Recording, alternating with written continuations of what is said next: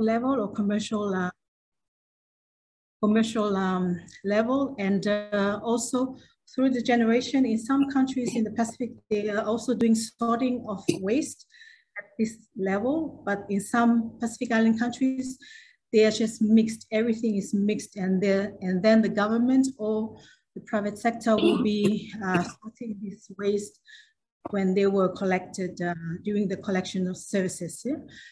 Secondly is the collection.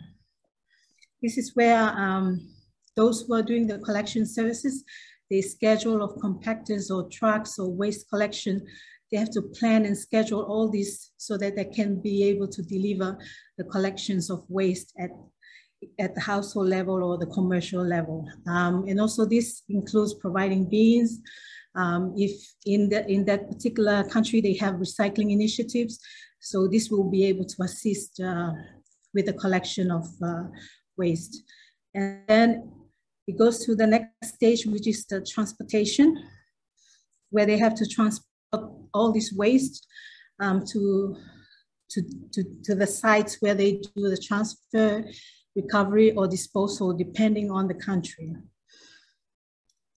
Fourth is the recovery and, and treatment. This is where they will be able to sort the waste for, for all the recyclable waste that can be recycled uh, within the country or overseas. This will be sorted out and will be um, uh, redirected to um, the transfer stations or whichever facility that they will be doing the recovery of this uh, uh, recyclable waste, for example, plastic, glass, paper, aluminum, and so forth. And also this is where, this is a stage where they do the treatment and recovery of other waste streams. Um, this, for example, like the organic waste or the green waste, they can be uh, reused or recovered as uh, compost um, for gardening. So after this stage, everything that's left over, it will be transferred to to the landfill or the open dump site, depending on what uh, disposal facility available on the, in the country. And uh, for example, landfilling and incineration that can be for healthcare waste. In some countries, they have incineration incinerators that are available to uh, properly dispose of all this healthcare waste. And this has to be done in an environmental management uh, and friendly way. So this is something that we also have to look at because in the Pacific countries, we we're still uh, trying to manage all the, the disposal of waste. So it has to be environmental friendly to avoid or, or to avoid or to reduce all the environmental impacts. Uh, next slide, please.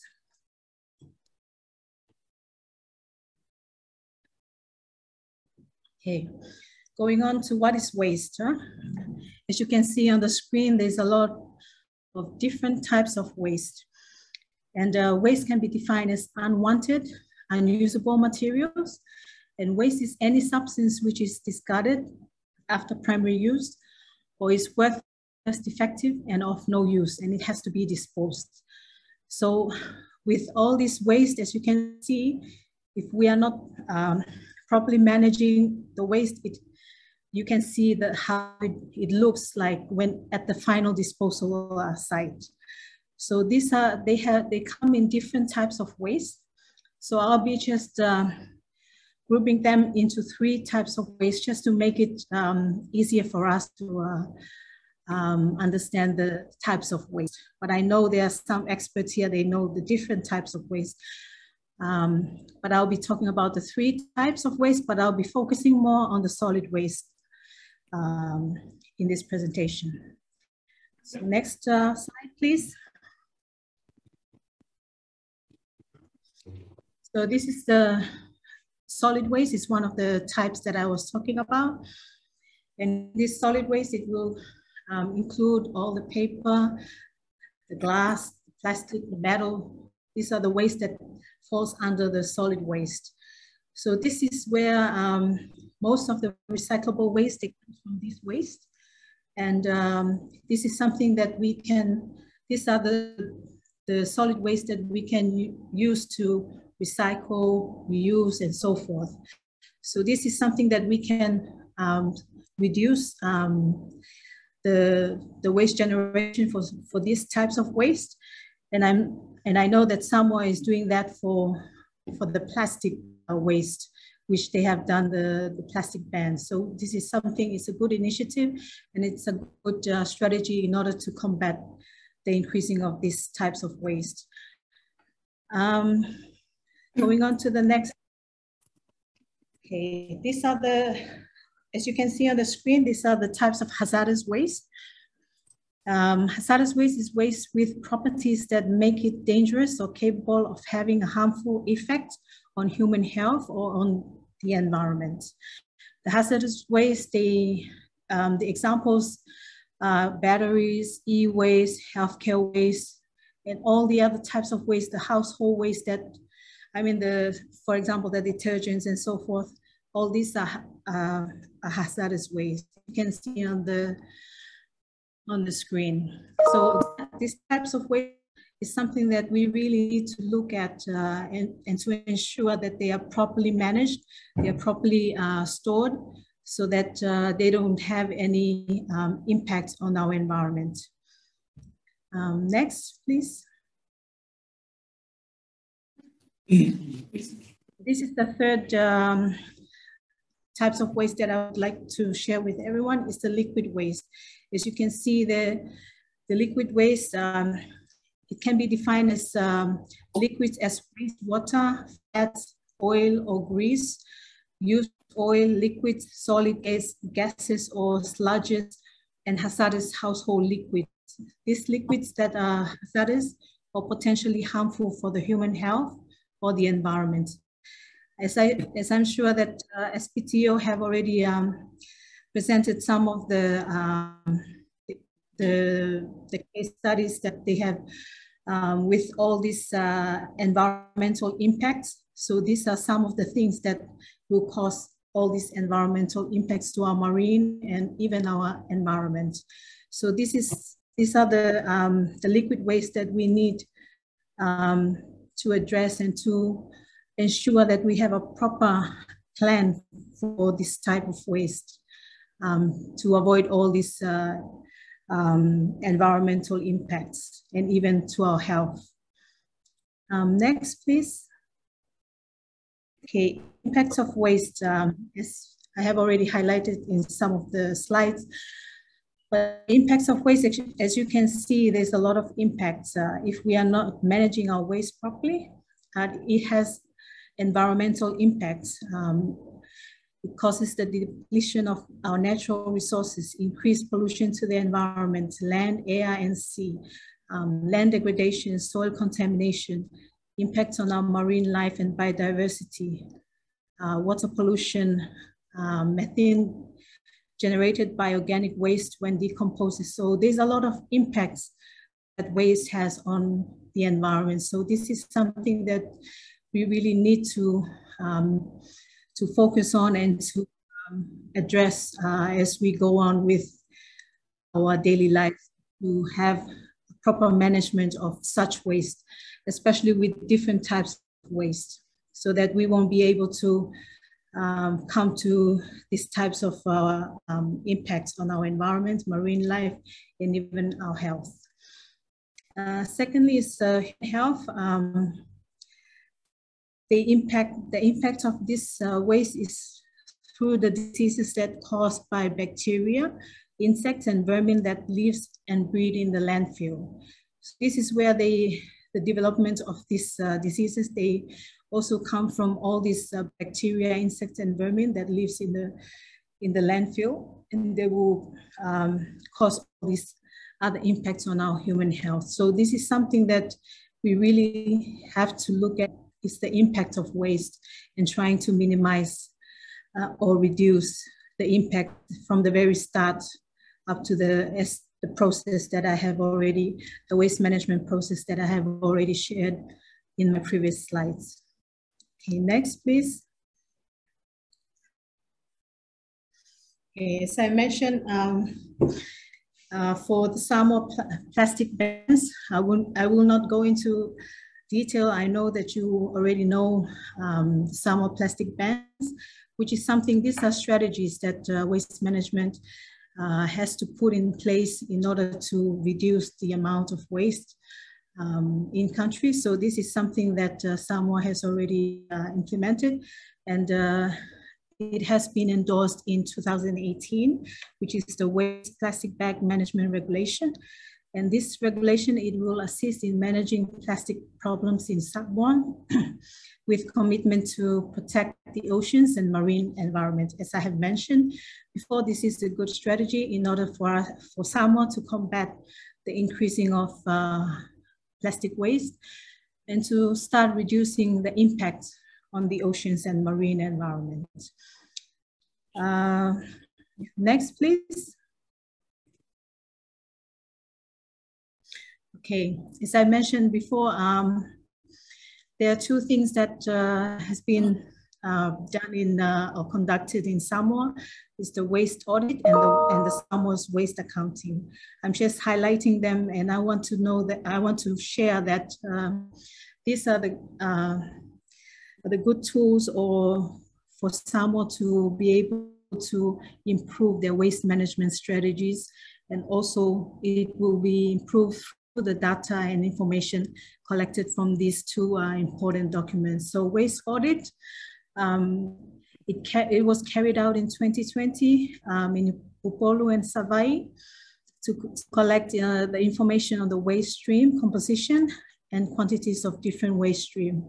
So in order to, to know these types of um, um, the composition of waste stream and the quantities, this will enable Samoa to better plan, better plan and uh, ahead what or, or they can identify the gaps or which country, which uh, uh, types of waste that they need to address uh, in the waste composition. So this is very important uh, um, information to for waste management planning. And for Samoa Waste Accounting, it focused on collection and management of solid waste for three financial uh, years. And it focused on the collection and management of solid waste for, um, and also it includes solid waste collected and disposed of at, at the Tafaigata landfill in Upolu and solid waste exports. So all this data and information is very good uh, for Samoa in order to um, plan ahead for waste management and to improve and uh, mostly to reduce the impact of such waste uh, types onto our environment as well as our health. Um, next, please. Okay, this is just to show you how um, this data that I have uh, extracted from the waste audit. These are the types of data that uh, waste management plan needs in order to uh, address uh, waste management. And for example, in, in Samoa, um, uh, they have uh, the result of the waste audit, they were able to know the, the waste generated annually, the waste generated per person per day, the waste generated per household, and even the waste disposed at the, the landfill. So this is very important in order for you to do the waste management plan to assist with the, the increasing of waste and the types and addressing the types of waste. Um, next, please.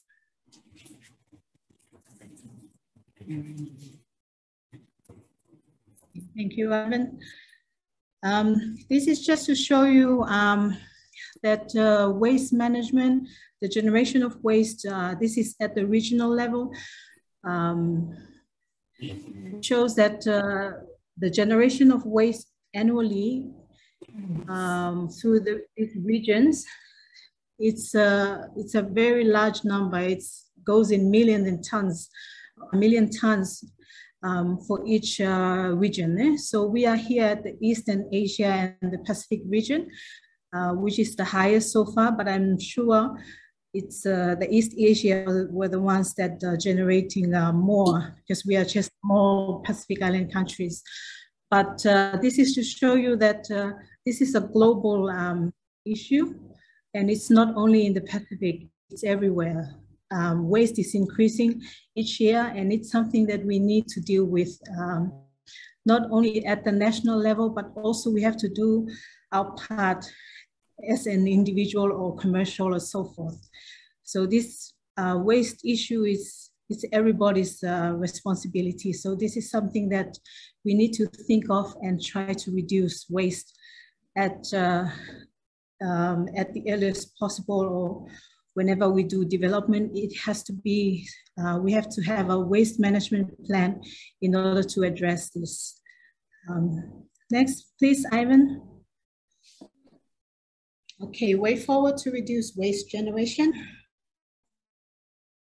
Something that I want to share with you is the circular economy. I know that most of you know about this uh, circular economy. Um, circular economy is a systematic uh, approach to economic uh, development designed to benefit businesses, society, and the environment. Um, in contrast to take waste linear model, as you see on the far right, there's a linear economy, there's a model, and the circular economy. So most of us, we are here, we're still here at the linear economy. Um, just we just do, we just take the, the local materials, the resources, make, and then we dispose. The circular economy um, is, is the regenerative design consumption of finite um, resources. So the circular economy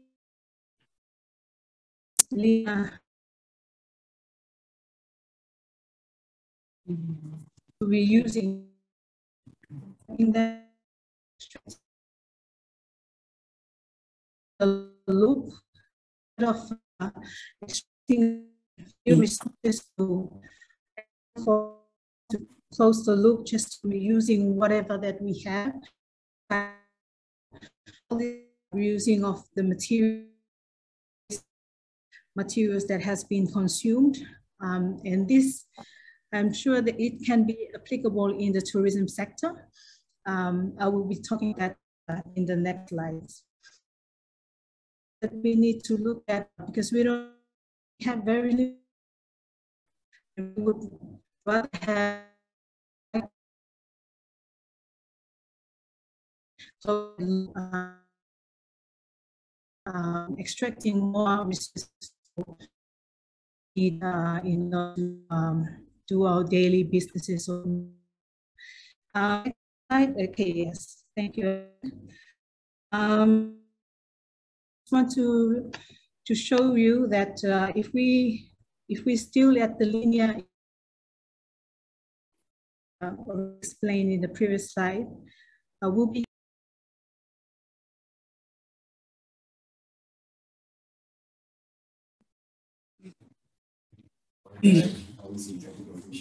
Have we lost Susan? Yes. Okay. Uh, the cracking wasn't my end. It was uh, so my, my mic on mute. All right, Greg. Uh, that's all. Just explain. Well, it involves the design. Okay.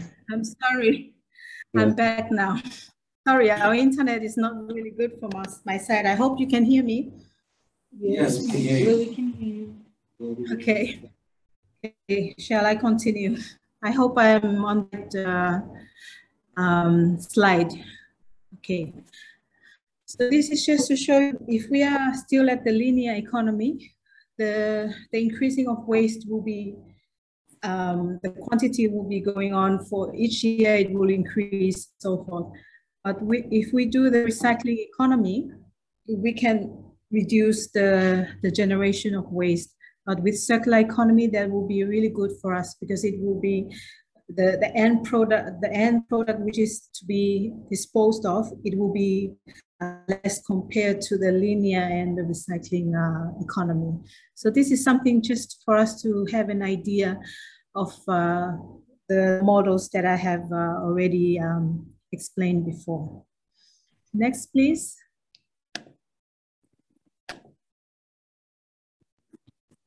Okay.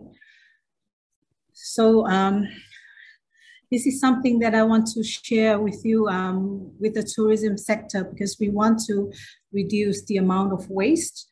Um, this is uh, something that we need to look at. I know that some of the um, hotels now they are using, um, um they are reducing plastic waste as with the uh, Samoa plastic bans that uh, I have already explained, highlighted. So these are the things that we can use uh, as a way forward is to get rid of all the plastic waste. Uh, for example, the the cut, cut, cutlery sorry set um, that were used before is plastic. And uh, if we want uh, the circular economy, as I have already uh, mentioned, you can see at the far right um, the cutlery set. This is uh, made from wood. This is just an example. Um, these are done. These are used in some countries, um, and they are using. They are reusing it for for compost, and this can be. This will be closing the loop instead of uh, getting more um, resources for making this um, uh, wooden cutlery um, at least it's going back to um, as compost, which will um, be able to help with the gardening. And this will come back to, it will be replenishing the resources that has been taken away. So that's also, um, as a, on the second, um, so um, there are also like, it's been divided, uh, the the alternatives to the plastic used um, on the right. So these are the things that uh, we can use in order to alternatives instead of using this uh, plastic waste uh, uh, can so uh, very um, if uh, careful with what we buy or what we import into country to do our, um, our, um, our services, for example, in the tourism sector, you can see that there's a lot of waste generated in that uh, the far left corner uh, of the screen. Oh, sorry, I'm, I think I'm still on the, the previous one. Anyways, okay, moving on to that one um, yeah, as you can see, there's a lot of uh, plastic waste. So what we need to do is to reduce. Um, another way is that uh, with uh, hotels, I can see that in some hotels in some other countries, they are trying to do away with all these small um, plastic bottles used for shampoos and because this this also ge generates a lot of plastic waste. Um, they are using the, a larger dispenser for conditioner, for shampoo, and this is reusable. Um, this is refilled. Um, it will be refilled and uh, it will um, reduce the generation of all these small bottles, uh, plastic bottles in the hotels. Um, next, please. Okay, and it, in the case of organic waste, or shall I say food waste, because in the tourism sector, these are the these are also the waste that generates from the tourism sector is the food, organic waste. So in this, uh, in reducing the organic waste, this can be redirected or for for making compost, as I have shown in the pictures in the, in the in the middle. Um, this uh, uh, compost there. This is these are designed like for local um, compost, but the, the one below it is the food composter machines for hotels, which is used in overseas. Um, uh, these are used in the Grand Hyatt in Melbourne. So they're using this and they use it for, for, for compost and they use it for their garden.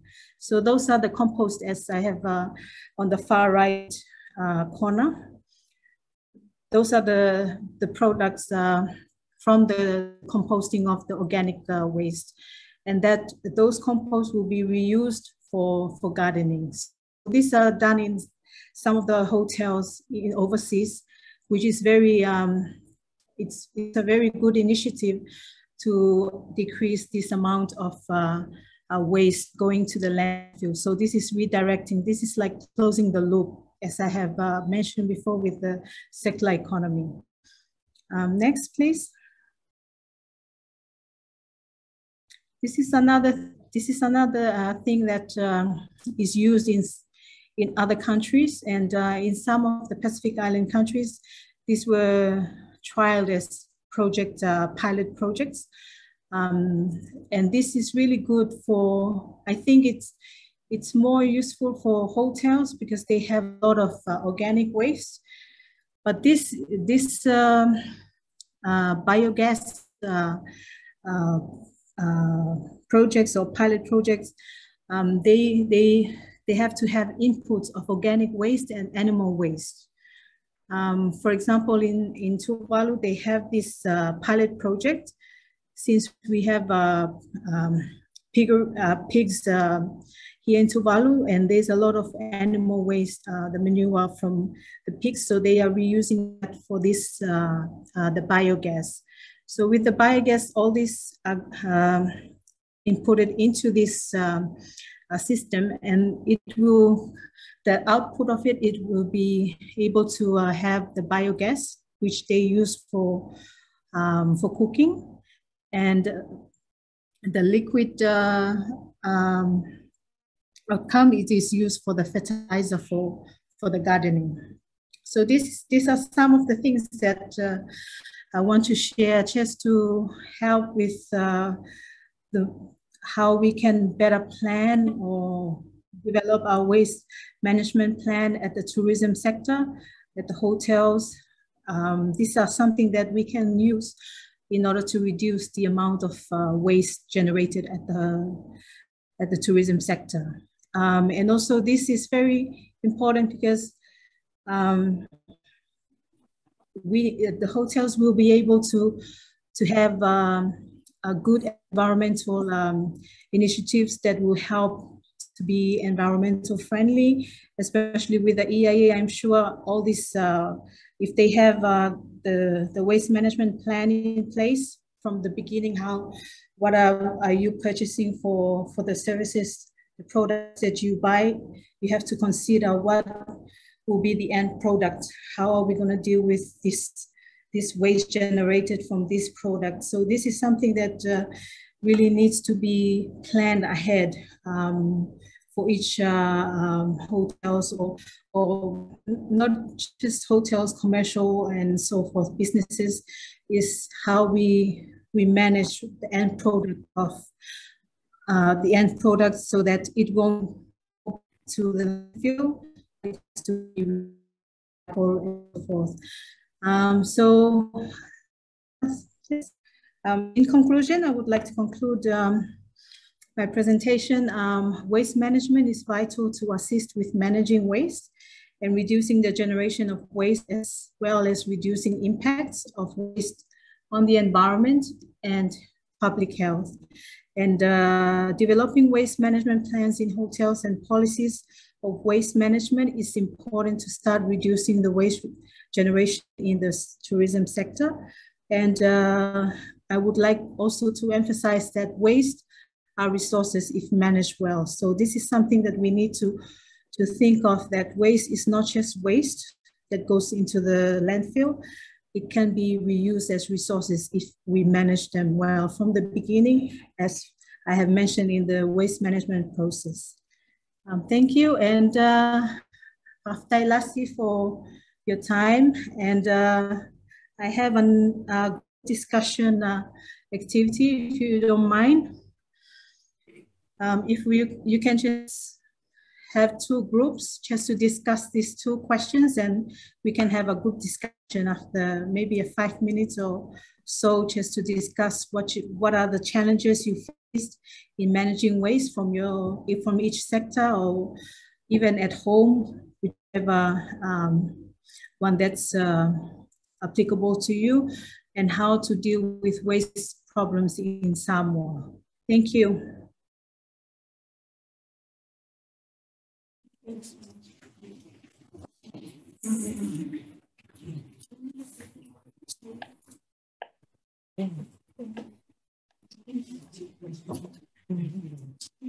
right, thank you, uh, Susanna, for that presentation. And uh, yeah, Susanna has given us uh, some few topics to discuss. Right? Uh, one, she says here, what are the challenges you face in managing waste. I think one of the areas of work you waste in some manner. So what are the challenges you have as the uh, plastic waste, kind of waste, what kind of waste generated, what you do. and uh, secondly, he said how to deal with waste problems in uh, perhaps similar uh, stuff like uh, plastic that. What other policies do you think might help to curtail or yes, solve some issues? Since do you have uh, anything else to add, please? Thank you, Ivan. And uh, just this is something to help you out. mm. There are uh, factors that we identify which why Samoans have significant waste compared to the last 30 or 40 years ago. First one is population increase. Second one is uh, urbanization. And the third and most important one is that Assam, because of the economy of scale that we have, we are so dependent on imported goods and products. And the fourth one is negligence we think that waste, your waste, is somebody else's business. Like Susanna mentioned, or waste management is everyone's responsibility. Wherever you go, whatever you do, you generate waste. Like for today, you have tissues outside there, food scraps, you generate waste every second. So how to deal with it? It's not just MNRE's responsibility, it's our collective responsibility. Even like, uh, even the hotels, we have identified some of the beach valleys. They dump rubbish somewhere else. Mm. The fact is that uh, the current collection that we have is concentrated household level only. Because we include the commercial sector, so we might not come solve within one day because commercial sector generates huge amount of waste. Even the government agencies, that's why government agencies for the commercial sectors, they are responsible for their own waste transport to Tafaigata and by other landfills. The same with the hotel. But however, for the sake of the accommodation operators, they can have private uh, agreements with, uh, with, a, uh, with a collector. The reason, the other reason is that um, the capacity of our waste collectors now, there are only few of them limited resources like number of trucks. So that's why, that's another reason. As Susanna mentioned from the audits that was uh, that did sample the generation weight that's 20.28 uh, uh, kilogram per person per day. That means you, me, generate 280 grams per day. So think about it, the population of Samoa, so generate uh, approximately like 27 thousand plus tons of waste every year. So even we try, you've heard about waste minimization, waste reduction. It's pretty hard for the Pacific, including Samoa. We tried, so we are now piloting um, recycling circular economy through our projects. We have the China project, we have the UNDP swimming projects. All that we try to do is to find ways, especially for plastic bottles because we in Samoa we have 20 plus uh, companies that are part of the board. So you, if you see around, you know, we have weddings, we have funerals, we have all those stuff. You always see this. And the other problem is that for PET, it's called PET plastic bottle. It's a very, very low value item compared to scrap metal and e-waste. About three years ago, China, that was the, the, the market for plastics was China they closed their market now. So we try to find other places and other initiatives to deal with plastic. Uh, for we are now trying with, uh, I don't know whether you've heard about the Samoa Recycling and Waste Management Association. It was established under our JICA project, and they are very, very active at the moment. So we now have a pilot project with JICA try to deal with plastic. And now, if you have time to visit Tafaigata at the headquarters, they're using class, we're using class to produce the crush, the crush classes to produce sand. Mm -hmm. And now they are manufacturing bricks from, from sand. And we're about to do with the plastic, try to repurpose the plastic. So that with the machines out there already, so that we can have some sort of slabs or bricks from plastic. And for tourism sector in terms of uh, plastic, it is very, very important that we have the one component of the, the audit that we do with World Bank is IUCN's interest in marine plastic. And there are impacts in the tourism sector. Hmm. For example, negative publicity and reputation, reduced revenue, reduced recreational opportunities. Um, we had the sort of like discussion with uh, IUCN and the sectors. There are three sectors that have the IUCN uh, plastic waste-free islands project. It's the fisheries sector, tourism sector, and waste management sector. You can see that when we talk about plastic, why fisheries? Because right now, if you see, even if you can see those uh, clips on YouTube, there's no water fishermen land on big dump the, the, the discarded fishing equipment in the sea. That was a problem. That's why. So um, not only they are dumping the, the fishing gears in the sea, it really affects uh, sea and marine sources. That's why we opted for our plastic ban. Well, we do it face by face. So just this year, last year, we start banning styrofoam plates. You know,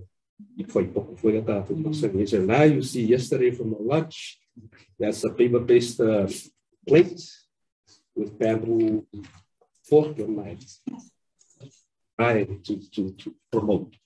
And currently there's a high level dialogue that's going on. We trying, the club was trying to have a treaty to deal with plastic. Uh, very soon, plastic would be classified as a hazardous waste because inside the plastic, there are various chemicals, dangerous chemicals in it, which can affect us. In 2015, uh, uh, there was a survey including four islands and New Zealand uh, for microplastic. Uh, from the from the whole result, it's so sad, so so sad, because it, that survey includes Samoa. So we took the samples from fish, and the sad result was that 97% of all the fish that was surveyed contained microplastic. So in other words, like Greg mentioned, yesterday, because us Samoans, we do depend on fish, you know, marine, marine resources. So in other words, we already plastic already in our food chain. So we're eating plastic when we eat fish. So that's why we try to deal against plastic uh, uh, pollution marine pollution. Like I said, the global community that's leading by United Nations Environment Agency in here. So there's a high level dialogue going on now. They try to have a global binding instrument to deal with plastics. But what happens is that, you know, us specifically, you know, to be honest, this is a fact. Globally, we only contribute about 1.3% of plastic pollution. Similar to climate change. That's the issue about plastic. No, like climate change, we no, we produce less emission compared to those uh, developed countries. The Same with plastic. The Third is that more specifically, we are recipient of this because plastic is a transbounding uh, sort of waste. You know, it can carry by sea. Mm-hmm. So that's why we are working very hard on that.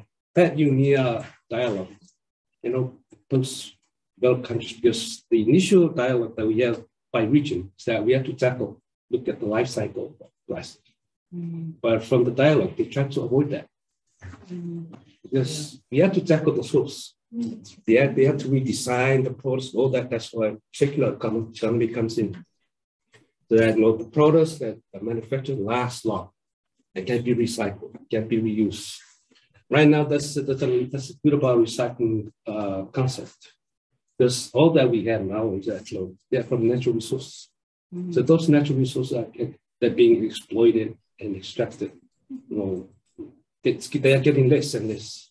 So that's why um, um, recycling, it's called three R concepts, uh, you know, reduce, reuse, and recycle. So there's another R that we, we added to it, is return plus return. So three R plus return. So, like I said, it's our collective responsibility. It's our effort mm. from everyone, even the commercial sector, whatever tourism sector, the, the operators.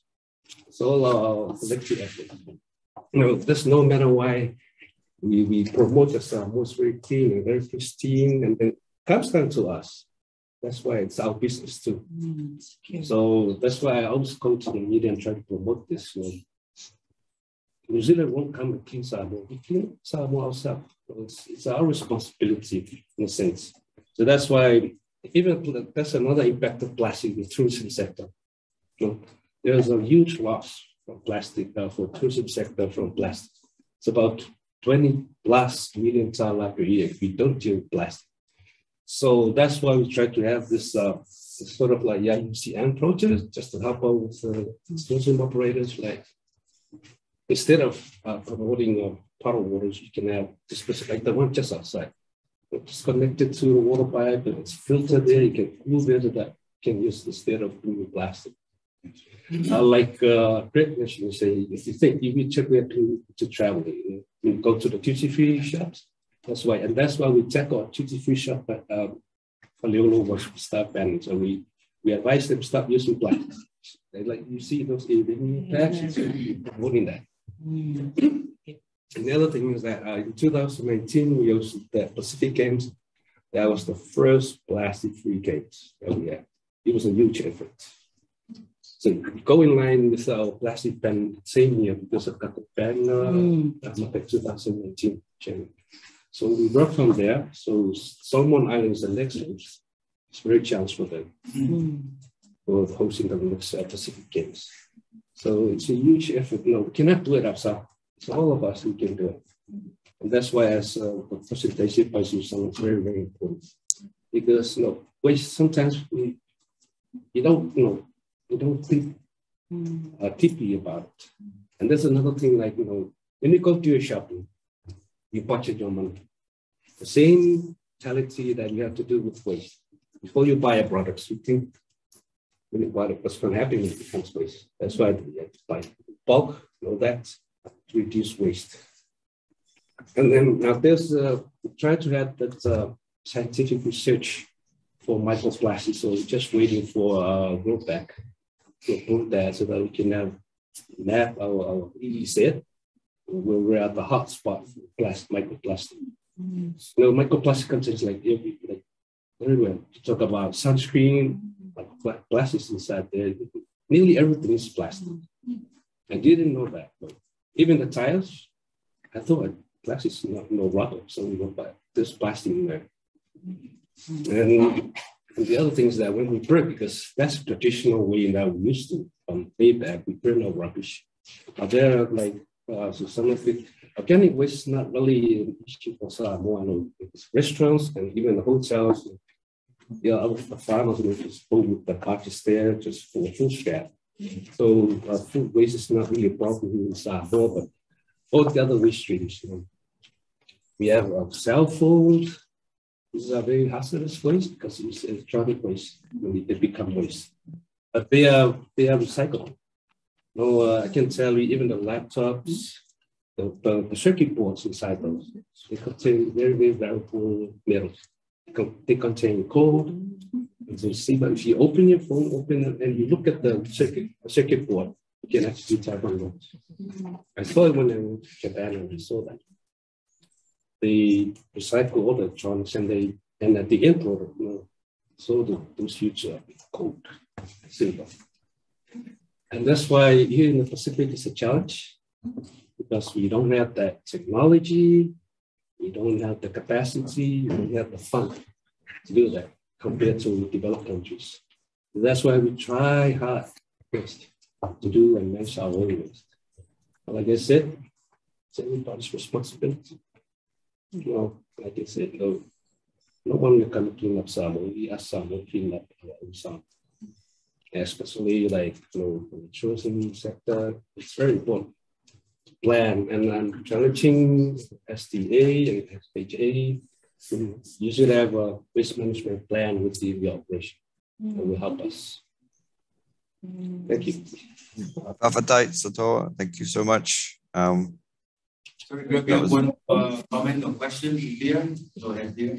Thank you. Um, just uh, an additional comment uh, to what Victoria shared. I think one way um, for us to um, deal with the challenges of waste management in Samoa is through our EIAs. Um, I guess this is something that, uh, you know, the consultants that has been developing um, EIAs for, for any kind of development uh, should take a, um, take into of how include in the EIAs the waste management issues because um, we have received some uh, EIA, some peer reports under the waste management uh, section, uh, just two um, sentences like this waste and how we, we dispose, how we collect, and then that's it. But you have noticed from the presentation um, by Susanna and Sitosa sharing information, you know, our population is increasing and so as the generation of waste. So I guess this is something that we need to identify for, for such um, development. You need to identify all different types of waste streams that has been generated from the development. Um, this is before, during, and after constructions and during the operational of the development. And also, they need to include a detailed plan, methodologies on how they will collect how they will transport, how they will store, and how they will dispose such waste, for example, in hotels, restaurants, and other businesses. And not only that, they also need to have an effective um, segregation plan, because as you mentioned, that there are lots of recyclable materials that have been generating, um, say, for example, uh, hotels. So I guess they need to have a segregation plan, okay? So that uh, just to ensure no recyclables go to the landfill. So I guess that's uh, one way that we need to work together is through our EIAs and the development of PEAR and CEAR report for any kind of development. Thank you. Thank you. Excellent. Excellent. That's that's a that's a really good um, point there. That the EIAs and as as um, which they pointed out, the approval conditions for a development come out of the EIAs and the EMPs, and the recommendations from the from the various agencies. So yes, the EIA can be a mechanism for helping um, you start to deal with the waste issue for, for, at least for new developments. To have have them have them put in place better waste management plans. Yeah. So, Greg, if I can just um, add Go to ahead. that. Sure. Yeah, this point has been like uh, very correctly identified because um, waste is one of the key management plans that is an attachment to the EIA itself. Yeah. You know, alongside with, you know, environmental management plan, site management plan.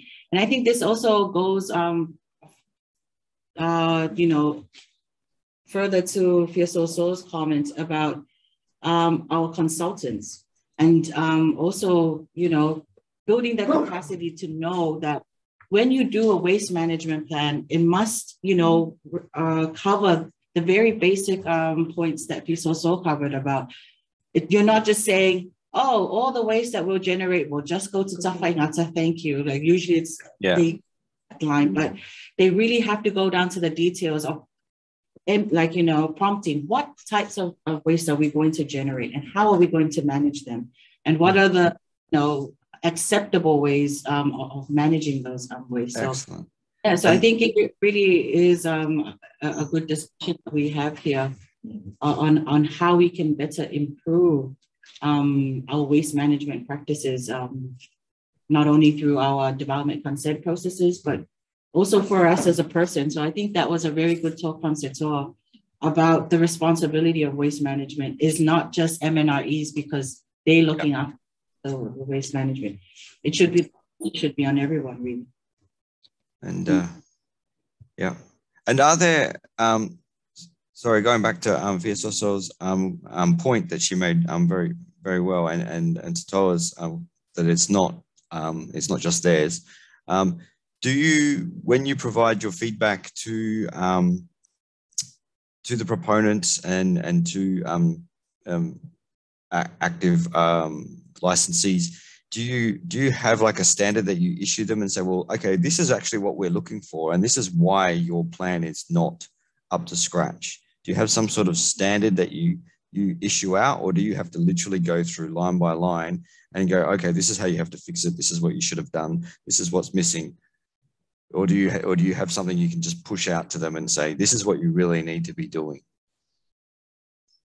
Sorry, Greg, can I just ask, is that question directed towards me or MNRE? Uh, sorry, to, to MNRE, because that, that if they have that, that would be really helpful for you. So I'm just wondering when they when they review these plans and they go, these are this is abysmal. Uh, do they do they literally have to go through line by line and correct it, or do they have something that they can sort of go, this is at least what you must be doing. You must have these have these measures in place. This is what we're looking for. That was very true. Thank you, Craig. Uh, so after that, we do have our National Waste Management Strategy. and we do have our Waste Management Act. So those are the things that once we receive a referral from um, OMA, then we the type of development, then we always have waste management part of the So we always yeah. have that to um, uh, uh, review and then forward mm. to. But is there is there a standard so that like say say I wanted to put in a new development and I I want to write up a waste management plan. Can I come to you and you provide me with a, a, minimum standard of things that I need to consider, or do I just sort of write it and then you review it and then you you sort of go, uh, that's that kind of meets what we're looking for, or is there something you then you know you send to me, go, you know, you have to do it like this. Is there something like that that you have ready, like a standard that's that's issued, or do you literally have to check and and and question every little action that they've done? What we usually do when we receive a referral, then we have to, like I mentioned, it depends on the type of the nature of the development. Yeah, yeah. Straight away, we just put recommendation in the, in our okay. review. We okay. do from the construction phase and then to yeah. the construction phase and then the operation phase. So we always keep advising that for waste management. Okay. So, All right.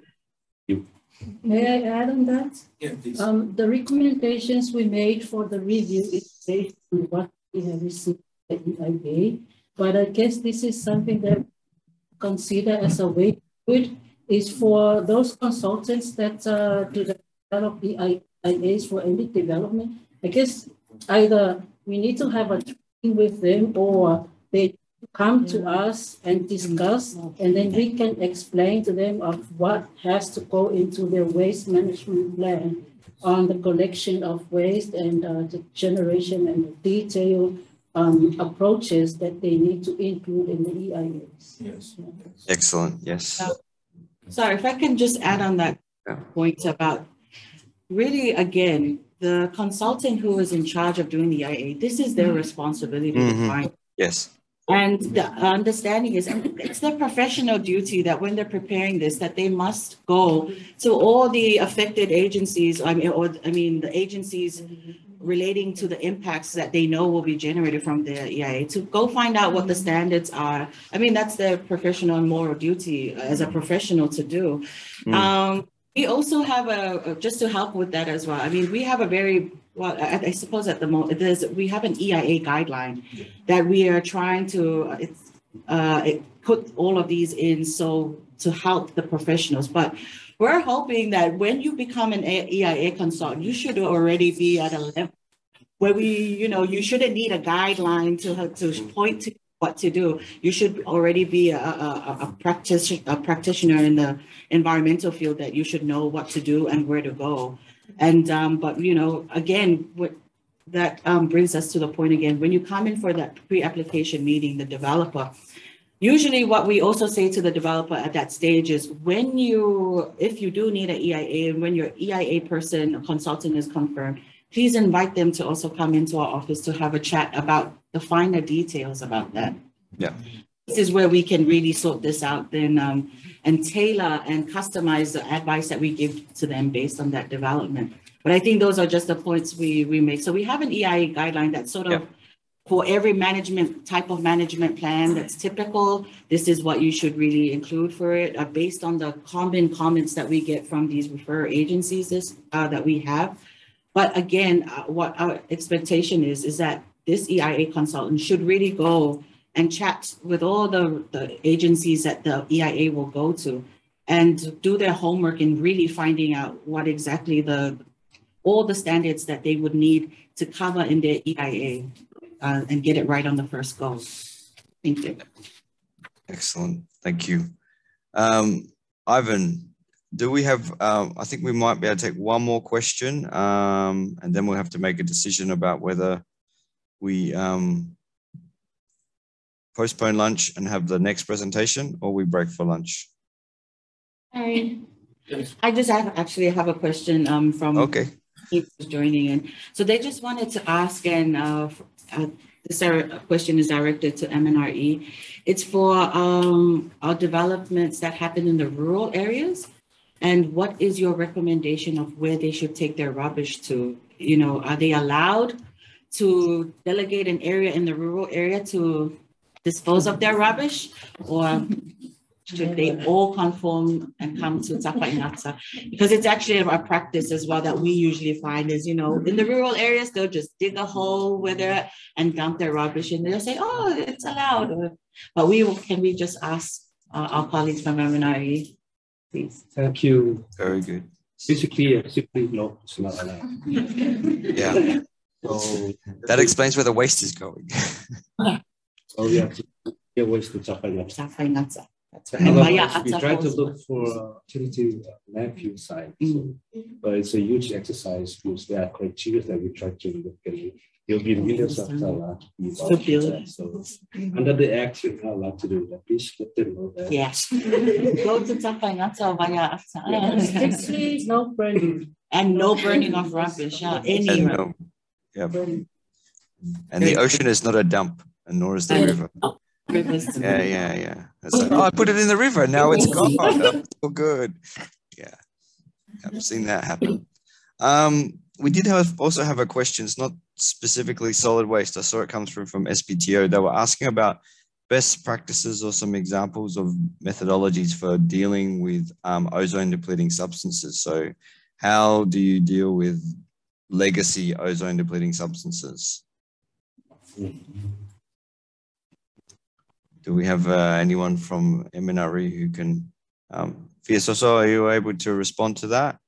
Um, ozone, uh, ozone um, uh, waste is with uh, MED, but uh, I guess the process they have to contact the ozone team at meteorology because they have to um, dismantle and take out the gases, you know, from those uh, refrigerators, and then after it will goes to the landfill, uh, the white waste and the. um, Fridges and. Okay, still goes to landfill. Okay. Like, not Yeah. Yeah, we also have a question from, is there any question there? Oh, No, okay, sorry, it's not a question, but Okay. uh, got, uh, an ozone section. And uh, the representative is not in, in this room, but um, as far as I, I know, is that we have a national ozone group. And they meet every, like every month or something like that, discuss issues like this. And uh, they, uh, they are well into the uh, uh, those things where they they they, they set a time limit where they can make that those those gases are are are, are, controlled.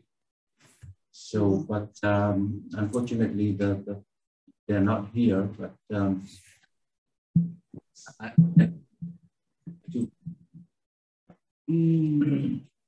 Okay. That's all right. Thank you for thank you for that. Um, letting us know that there, there is a there is a, a panel that meets and but yeah they're, they're not here to talk. The representative's not here to talk. I can also see there's a question from SPTO. Um, Masase has his hand raised. Masase, do you want to um, ask your question? Hi, Greg. Um, it's me here, Tina. Oh, are you guys using each other's laptops? Okay, hi Tina. We're in the same room. Okay. Um, so sorry, um, just a question here um, with regards to the um, collection. Um, I mean, sorry, uh, the cost for hotels uh, to bring commercial waste to um, the the uh, landfill. Um, how much does it cost uh, uh, on average? And um, do you have classifications, uh, different rates? Sorry, for the bigger hotels and beach villas, or are they the same? I'm going to hand that question to Satoa. Yeah. Currently, we do have two fees. Uh, and depend on the type of waste and depend on the weight. Uh, for example, for general waste, it goes about 50 cents a kilo. It's very low. That's uh, tried. But that's a Kilo. 50 50 cents a kilo. 50 cents. So that's like, um, yeah, like 50, less than 50 cents um, Fijian dollars. Yeah.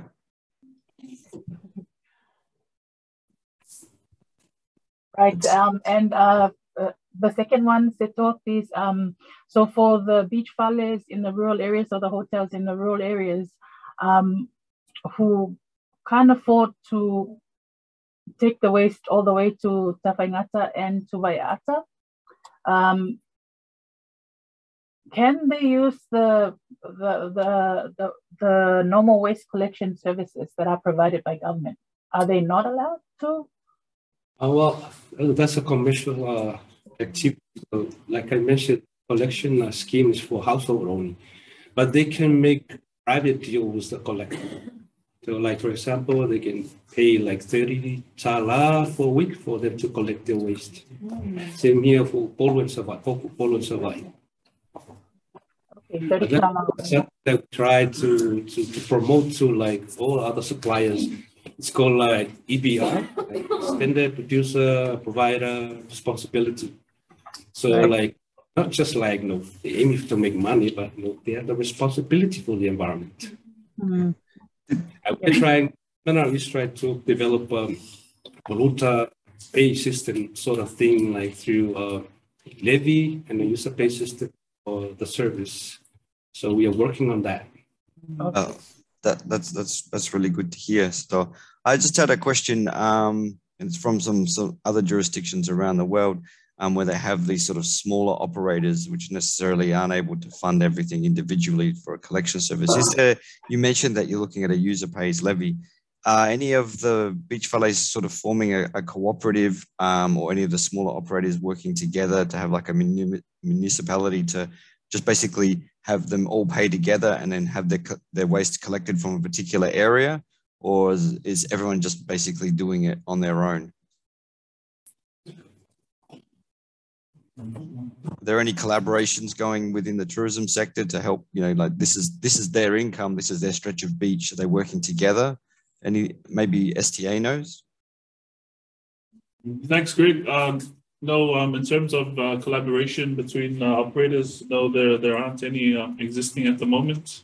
But um, I think, as Satoa mentioned, um, you know, it's something that uh, we'll probably need to look into if there's, um, you know, in terms of um, commercial businesses having to pay their own, um, you know, as they're not covered under the household, um, it would Mm. make sense for them to collaborate um, in particular areas which they're located.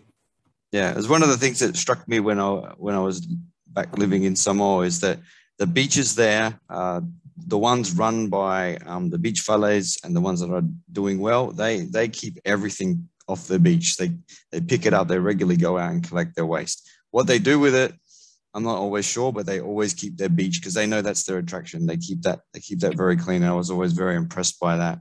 When I live in Australia, and we rely on the councils and uh, yeah basically they have to go through with giant rakes every now and then and, and clean it up or community groups go down there but um, it's the operators in samoa it's their beach you pay to go use it and that money they seem to be using that to to help fund cleaning it up what they're doing with that waste um, yeah i'm not entirely sure but at least they're, they're keeping it off of the sand and out of the areas where the tourists are so uh, hopefully they're they're disposing of it appropriately Yes, uh, Greg, um, Sorry. oh, yeah. sorry Okay, is I it Ivan? For Jope here. Okay, okay, yes. oh jope Oh, you raised a very important uh, point of polluter-based principle. And uh, maybe ask for some agency and maybe also. Is there any you know, monitoring? I'll use an example of Tonga City. Is there any any sort of system in place to to, to monitor the waste, the liquid waste that they discharge into the ocean?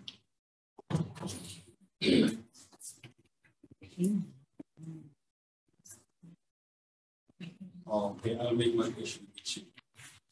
Do you monitor liquid waste coming from pollution and ocean?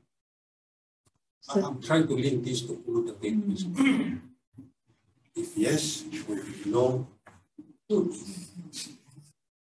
It is really important uh, policy because it is a way uh, in which we can monitor the way tourism operators are discharging their waste. Like for some countries, they, it links to standards. It links to standards. Uh, I'm just talking on a specific one here on liquid waste. So you have to pay to pollute, but you don't have to continue polluting. You have to put in an enforcement mechanism to reduce the level of pollution to be in line with the standards. So that's how I just want to create some discussion on this. Cities are very good in this. Take, for example, the big shops in town. Whenever I go to the Market, we look at that bridge, the shops from uh, the big commercial shop at the it's all directly polluting the, the creek So that's another example. We quickly come up with this polluted principle policy for our but it. Eh? So I just want to intervene and create a discussion. Sorry for bringing up that uh, example of Tawisi, just to make my point of view clear. And even the hospital, mm. and even the PrEP, you come and monitor PrEP. Where are these waste from uh, the sink going? There is the waste from the toilet going? So there must be standards. So thank you, Joker. Maybe I'll just, um, before we pass it on, but um, my, I can contribute to that a little. So we are currently right now finalizing our effluent standards. Uh, so I just talked about this a little bit earlier as well, but we have national effluent standards that regulates the pollution that's being discharged with whoever is treating water and discharging. So we have, it, it regulates government itself, which is SWA, because they have their big um, town water uh, wastewater treatment plant. And then also private companies who have their own on-site wastewater treatments and who are also discharging like um, uh, what you call Vailima breweries and for example, and then Taumeasina as well. And under this effluent standards as well, it does uh, give out the responsibilities of who shall be uh, should monitor. And it's currently sitting under the sanitation uh, sector of government, uh, which uh, PUMA is a part of. And we also have um, MNRE is also a part of that. And um, I think at the moment, though, because it uh, the actual monitoring itself is a capacity issue. We do not have the numbers to be constantly monitoring. I don't know, but I have a feeling that the mechanism that we're using right now is that we in, uh, are requiring at the moment until we finalize this and then employ people to do the monitoring, we're requiring the developer to do their testing and to report back to the sector on the on the pollution rates to see if they're meeting the minimum loads that you need uh, before you discharge them.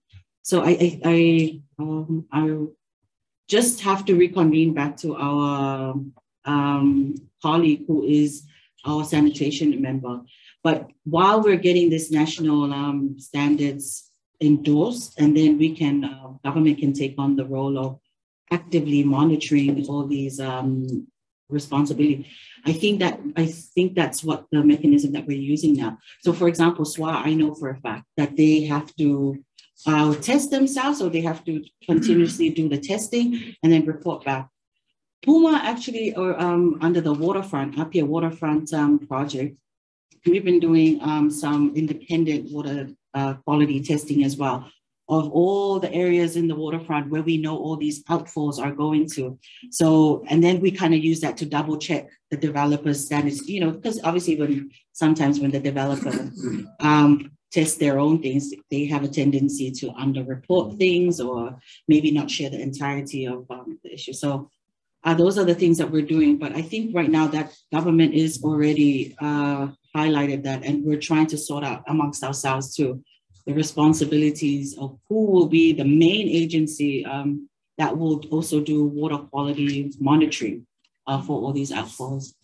Um, if, um, if anyone wants to, but I, I, know that's the arrangement that we have right now in the sanitation sector.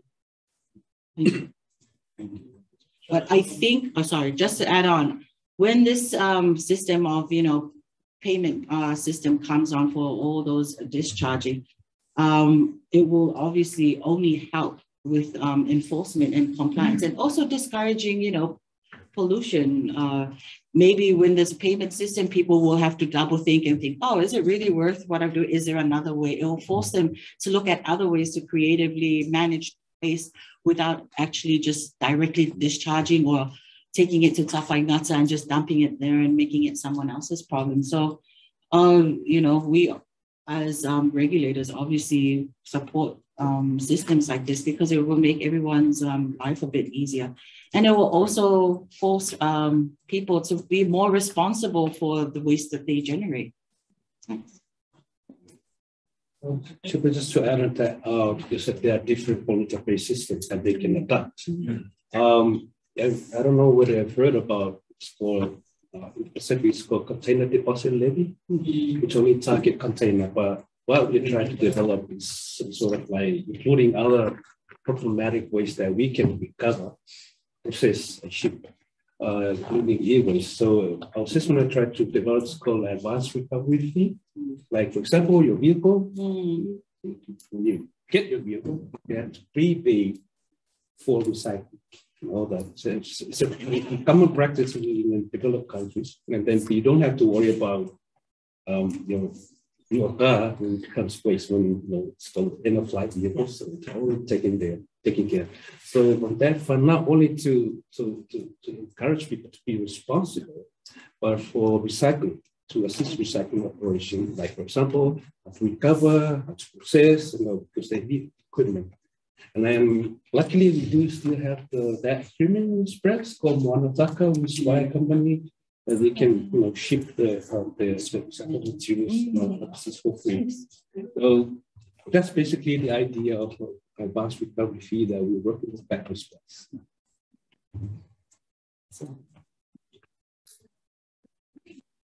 Right, thank you. Hello, everyone.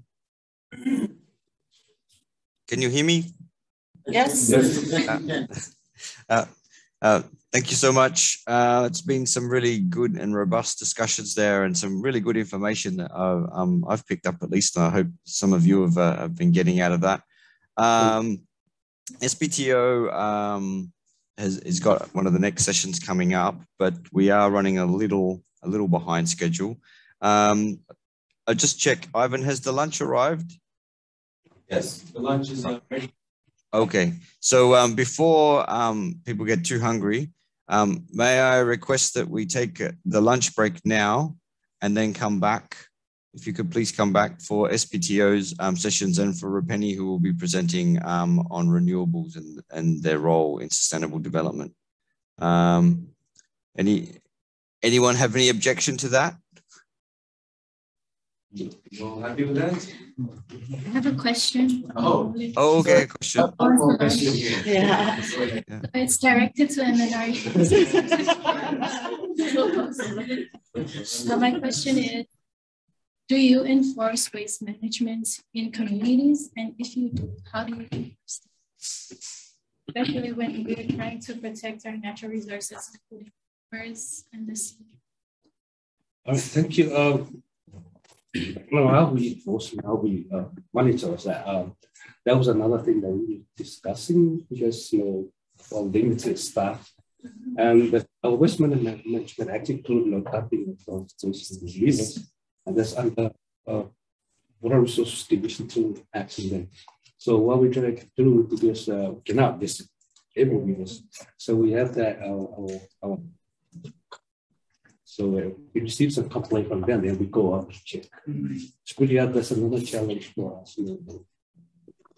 For example, we, even right now we don't have staff so much. So, Mm. so we're using that platform for us to check to, to help us out.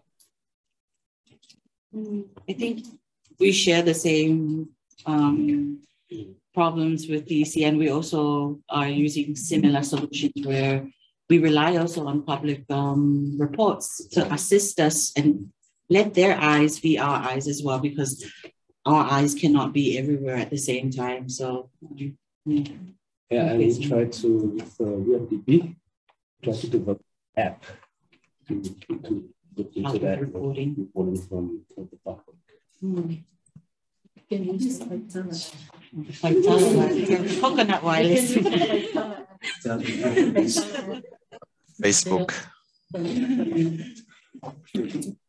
Okay. Thank you, everyone.